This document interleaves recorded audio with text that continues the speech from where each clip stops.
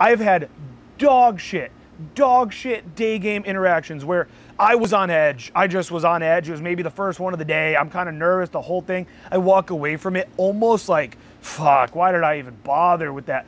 Texter, yeah, sure. Yeah, Tuesday still sounds great. Sure. Back in my place. It's, it's, and I've had amazing interactions that they don't fucking text me back. So your internal idea, your internal judgment of this interaction should not be the determining factor in whether you should be going for the close or not. Always be closing.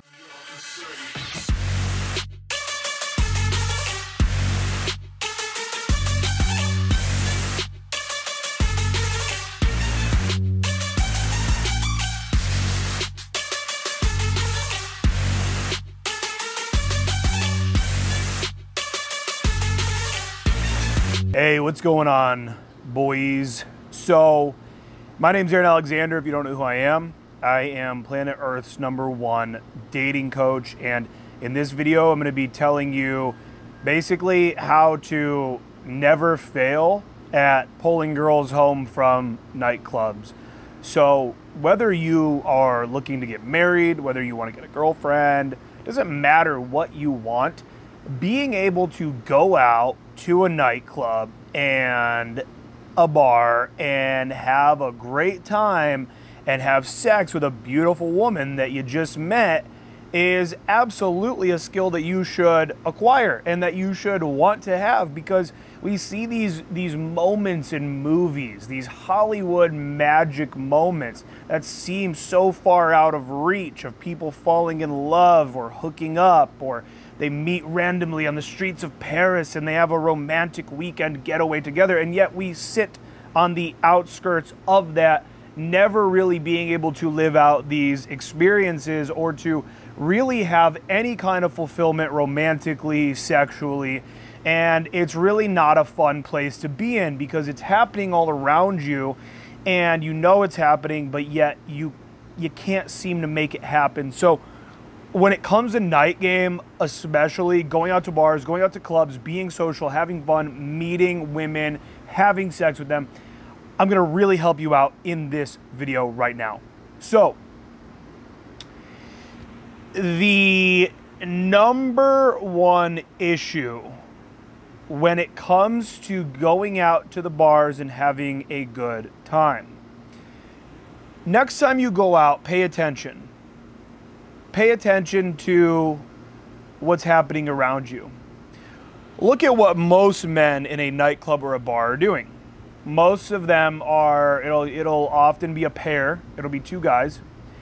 They will be standing there uh, at the bar along the edge of the dance floor, and they will be sitting there with beers looking at the fun around them and what's going on around them.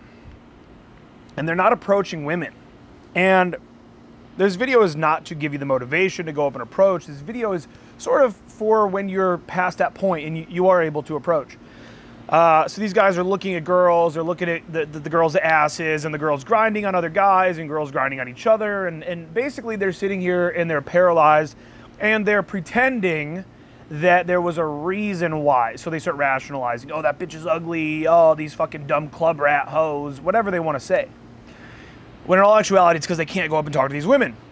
So once you're to the point of being able to talk to girls in nightclubs, the number one reason why you're not seeing results, why you're not getting laid, why you're not even getting you're not getting anything, you're getting not getting numbers, you're not getting laid, you're not getting a girlfriend from going out and meeting women, is because you're just not pulling the trigger on the pole. So oftentimes there's a there's a there's a term called reverse rationalization. And so what reverse rationalization means is that you will rationalize going to a concert. Well, I don't have much money, the ticket's $100, but you know what? I was probably going to spend that money that weekend anyway. I was probably going to go to the bars. So you know what? I'm going to go to the concert. That's rationalizing a decision. Reverse rationalizing is looking back at why did I spend all that money on that concert? Well, it was fun. It was this. You've already done the action. So the sooner that you can hook up with a chick, the more likely it is that you're going to hook up with her again, and also even that you could end up dating her. This is just a fact. Um, women, especially attractive ones, are going to be having sex fairly regularly. And oftentimes, because they don't want to feel like a little hoe, they are going to date a guy that they've already had sex with.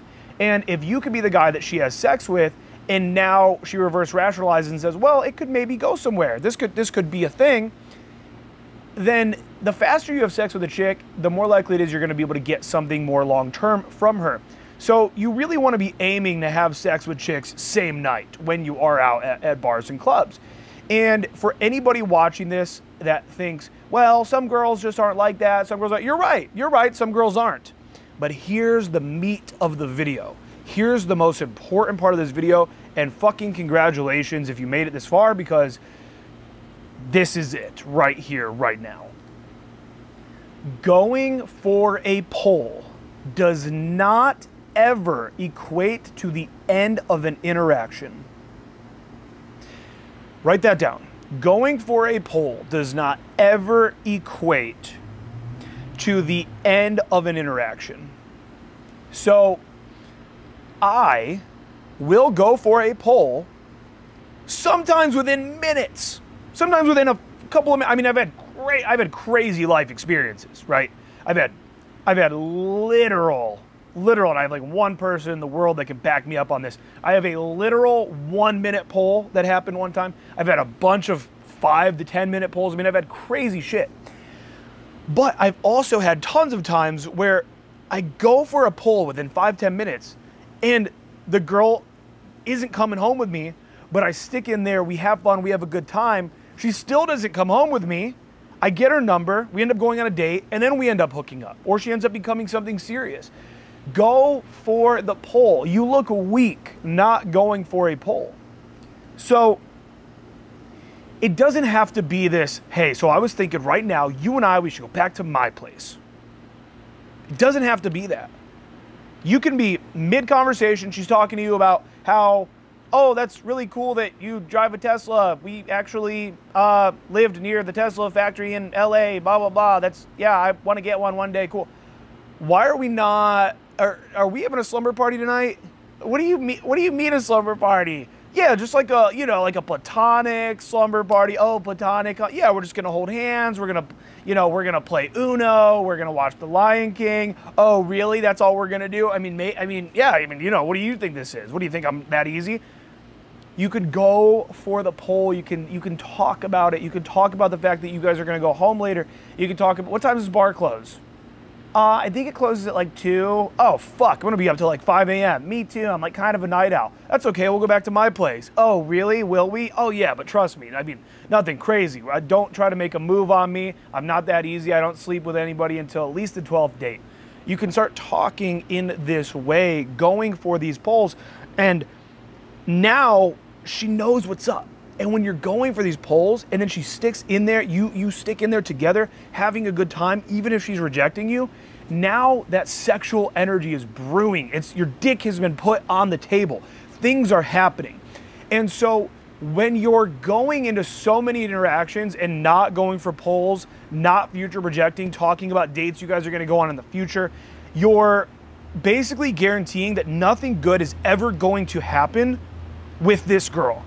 So no matter what your own inclination is of, oh, she doesn't seem that into me, I don't see this going that far, I don't know what's happening here, I feel awkward, I'm kind of scared. Go for it anyway and find out. I could rant. I should do a whole podcast on all the times that I thought interactions were not going well. I didn't think anything was going to happen.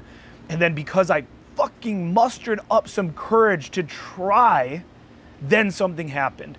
I've had dog shit, dog shit day game interactions where I was on edge. I just was on edge. It was maybe the first one of the day. I'm kind of nervous, the whole thing. I walk away from it almost like, fuck, why did I even bother with that? Texter, yeah, sure. Yeah, Tuesday still sounds great. Sure. Back in my place. It's, it's, and I've had amazing interactions that they don't fucking text me back. So your internal idea, your internal judgment of this interaction should not be the determining factor in whether you should be going for the close or not. Always be closing. Thank you guys for tuning into this video. I hope some of you found this helpful. Some of you are going to find wives off of my content. That's just a fact. So I hope that you find a wife. And if you didn't, I want you to, well, you're to, by the time you watch this video, I'm on a, I'm on a maniacal rant mode today, if you can't tell. Um, sign up for my mentorship. I just got off a call a little bit ago with a guy. He said at the end of the call, Thank you so much. I literally can't believe I just got so much value from just the first call. We just started the mentorship. Um, so, if you want to see what it's all about, the ways that I'm able to help you to really overcome these internal roadblocks inside of you, then uh, sign up down below. I'll include some links down below in the description. You can head over to evolutiondaily.com to find everything that you need to know about uh, and everything you need to work with me. But other than that, guys, go out there, fucking kill it. Leave a comment down below if you found this video helpful. Make sure you're subscribed, and I'll see you all in the next video. Peace. Always be closing, dude. Fucking close.